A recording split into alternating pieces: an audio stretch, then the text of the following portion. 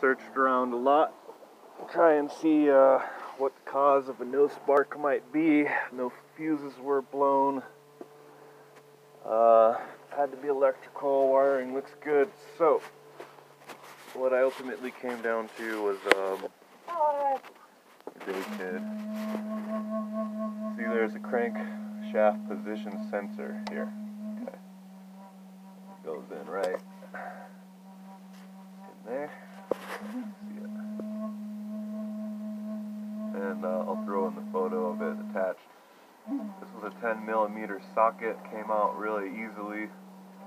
I actually had to fashion uh, with a quarter inch throat on the socket because the socket wouldn't fit in there. Uh, I fashioned this Allen wrench. See, I just had to cut it short. It's a tight fit. Okay, but it came right out, no problems. Now I left the old one on here. Uh, this is how it looked when it came out. So as you can see, that's uh, I don't know what the heck. Looks like the gasket broke off at some point, perhaps.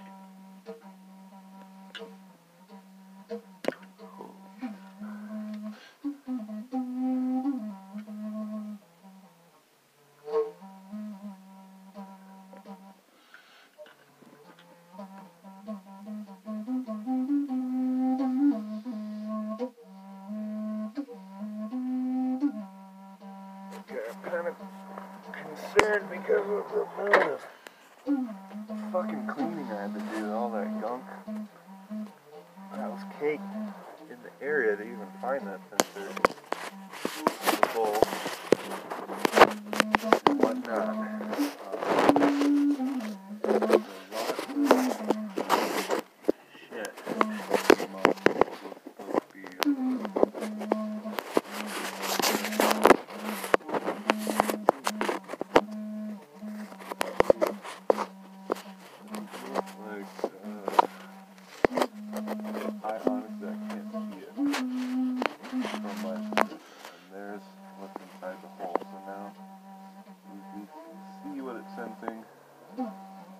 I could never see that.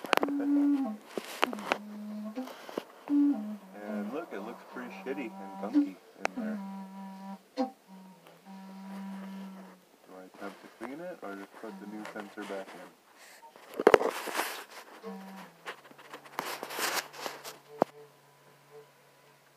replacing the new sensor back into the hole. Only difference I can tell on this one is that it's got a gasket and uh, the area is clean. So, let's see if she fires up. After doing this quick little switch out here.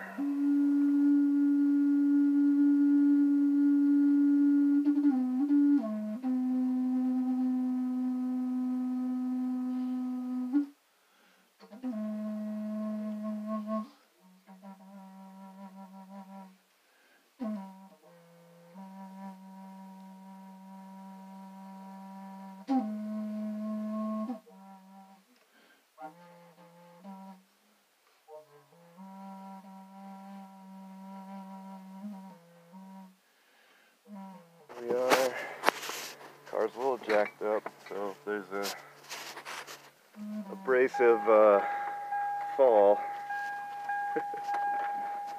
let's see what we got.